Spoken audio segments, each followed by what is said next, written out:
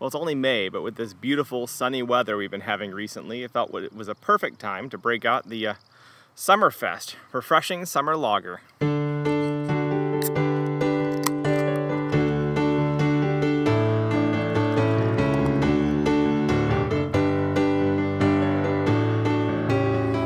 I know there's always the the delay between recording and posting. I'm guessing this video is probably going to be up in June sometime, if I were to guess, prognosticate. Um, so might, might very well maybe summer by the time the video actually makes it public.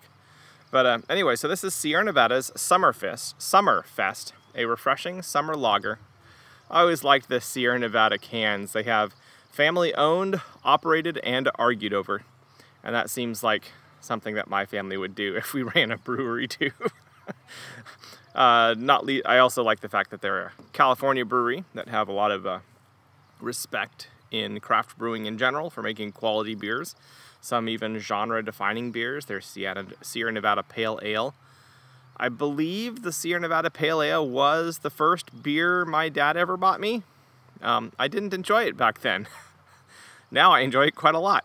You know, taste change and all that.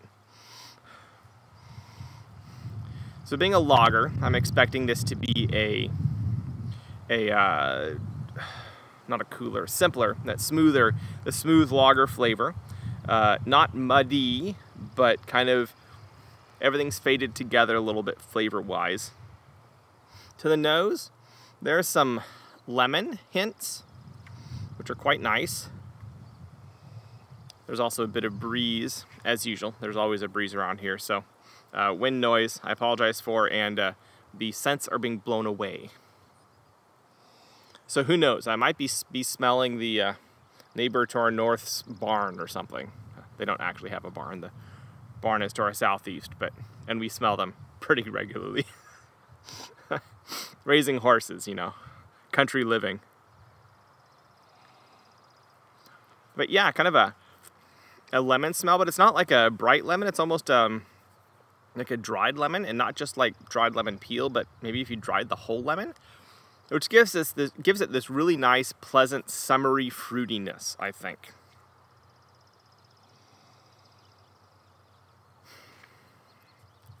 Can't say I can smell a lot of the malts going on here. Being a light colored lager, that's not entirely unexpected. What malts there are will be very lightly roasted.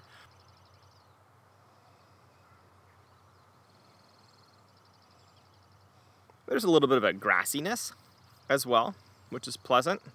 Overall, it smells very, um, very growing, uh, green, uh, though not like spring green, not like vibrant, uh, fresh, new, new plants green, more, okay, the fruits are starting to ripen, uh, a few dry spells means the grass is maybe a bit drier than usual than it was earlier in the year, um, so there might be a little bit of a dustiness to it. But really by far the dominant characteristic is this really nice like dried lemon uh, scent to it, which is really just fetching.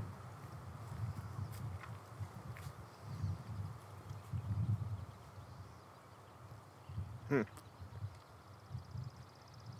Hmm, yeah, good. Okay, so that dried lemon character continues. And and it results in a very juicy beer that is that is bright and still has that um, not quite fresh. You know, it's been it's been aged and concentrated, dried out uh, lemon character, maybe a bit of uh, a little bit more lemon peel, uh, bitterness in it, and and then a nice like a cracker malt finish, and just this thinnest hint of lingering, refreshing, beautiful dancing palate bitterness. Uh, kind of, it's a, a spice over the top as it finishes.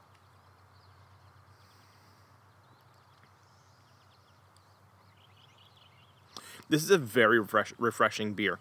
The generally citrus character, and not sweet citrus, but tart and uh, concentrated and woody citrus, uh, just is refreshing, super refreshing.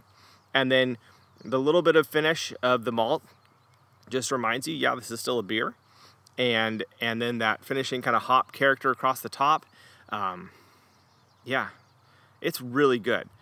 It's, it's surprisingly active for a lager, especially for a, a light colored lager. Um, there's a lot of flavor going on here.